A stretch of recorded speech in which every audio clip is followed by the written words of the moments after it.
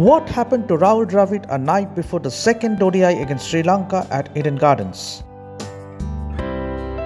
Team India head coach Rahul Dravid had a health scare as he felt unwell at the team hotel in Kolkata a night before the second ODI between India and Sri Lanka at the Eden Gardens on Thursday. According to Cricket Association of Bengal appointed local manager of Indian team, Dravid suddenly felt unwell. A doctor was called immediately to treat him.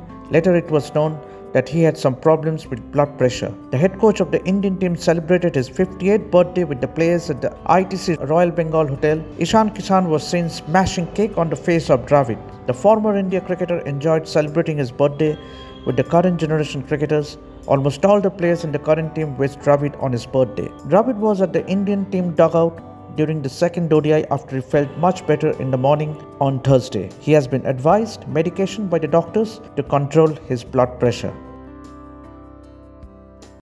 This is extra time! Extra time!